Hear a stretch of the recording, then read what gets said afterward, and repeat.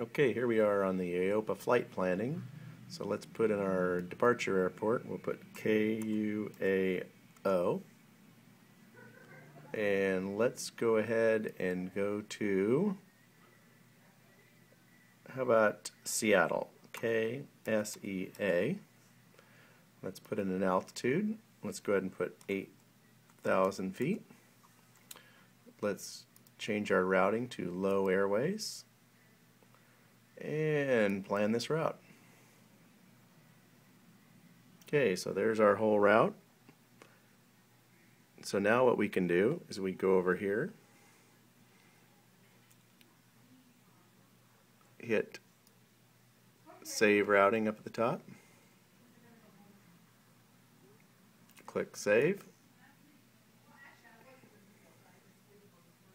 Okay, now we can bring up stored routes. So Aurora to Seattle. We're going to just right click on that and say create GPX file. And it's going to say save GPX. So down here at the bottom we're going to say save open folder. Now there it is Aurora to Seattle. Okay, there it is. So what we're going to do, there's our route, our GPX file. We're going to right click on it and we're going to say send to, there's our SD card, drive F, right down here on the bottom. And there it wrote to the SD card. Now we're done. Now we're going to take the SD card and go to the EFIS.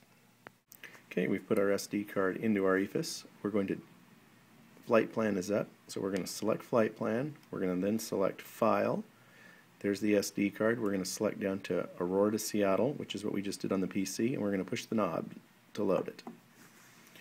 There it is. Loaded the whole flight plan right into it from the PC. Nothing to it. You can also save this flight plan. So all we do is hit Flight Plan, File, let's hit Save. So we just save the flight plan. So it'll let you save flight plans from the card or even from a 430 or 650 you can save a flight plan.